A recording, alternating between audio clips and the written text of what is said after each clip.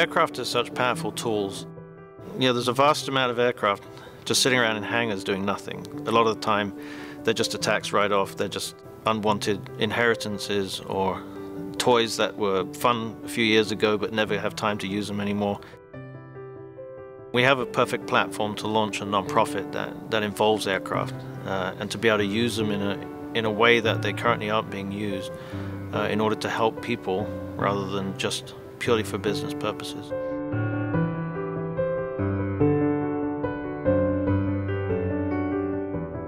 As a child, I always wanted to be a pilot. Um, I was fortunate enough to have the resources to do that, um, but I know that there's many people that don't. It's a very expensive thing to get into. So we saw an opportunity to help kids get into it uh, that, that would never ever think that they would be able to do that.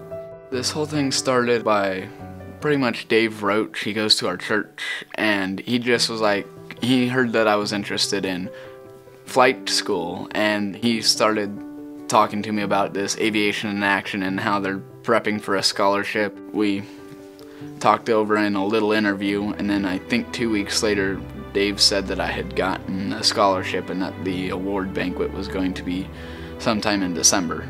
And it's getting there as to I'm actually going to do this, and it's sinking in now that, oh boy, I got in.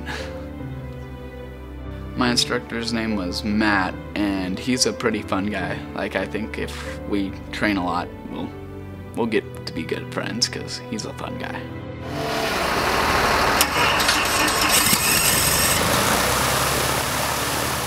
Takeoff, I felt my heart racing. I was like, oh boy, oh boy, oh boy. Mm, I didn't even know we left the ground at first. If you look down to your left, you'll see the little tiny cars and then you look over to your right and you just see a ton of mountains. It's just an awesome view. Like it's like, oh, it's just jaw dropping.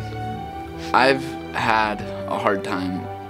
My family's had a hard time, and it seems like we couldn't get much help. And so I think the only way for me to actually enjoy this is to help people. We recently purchased a training plane that we're going to use on the scholarship program, um, but we don't want it sitting on the ground doing nothing. So what we're also going to do with it is go to veterans that are retraining to be pilots after they get out of the military. What the veterans do for our country is incredible, and the sacrifices they make. So in many ways, it's the least we could do, and it's something that we as Aviation in Action want to make sure that we cover. A lot of times, aircraft can represent a life-saving tool whether it's for children that need to go somewhere or whether it's for relatives that need to be by the side of their loved ones. Uh, often the situations that people need to go to treatment, but they wouldn't do it otherwise because they don't have the resources. Learning on August 12th that you have stage four metastasized cancer, and then September 13th, you're holding your husband in your arms and he's dying, that's hard to process and you don't have time to process it. All we could think of was get to the girls because Tony's entire strength at that time was in his family, and the girls were 2,200 miles away. The doctors agreed to put him on extremely strong fentanyl patches and morphine. Aviation in Action flew us first class so that Tony could fly because there was not a seat in any other, like coach, he would have been in agony. If he would have been left in California, and Tony would have died away from his girls. And I can't thank enough. For us, aviation in action was a miracle. It was a huge answer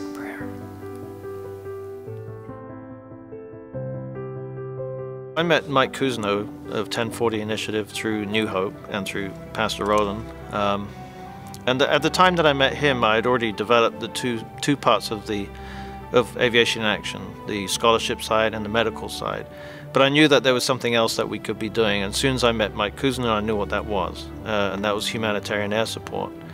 So as I spoke to him, I realized that there's probably a distinct need for him to be able to get his teams around the country in a quick and efficient way other than using transportation on bad roads.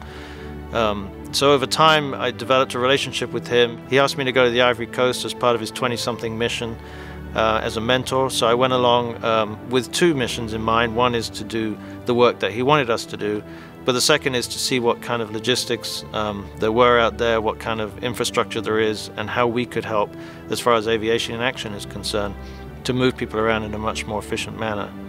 So during that trip, I realized that's very difficult to get around.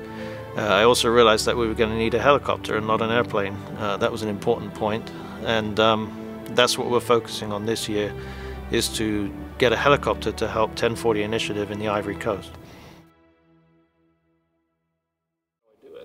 Well, there's various ways to get involved with aviation in action. As a pilot, it's obvious you can offer your time either as an instructor or as a pilot for medical flying. If you're an aircraft owner, you can offer your aircraft for our pilots to use as part of the medical um, program. As far as the overseas side of it goes, well, financially, that's a very expensive part of our program. Uh, it's going to be the biggest financial burden for us uh, and the hardest logistically to get done. So what we're looking for is partners, financial partners who can either give give on a regular basis or a one-time gift that will help us get the type of aircraft that we need and to be able to sustain those aircraft through the purchase of fuel and insurance and all the other things that accompany that.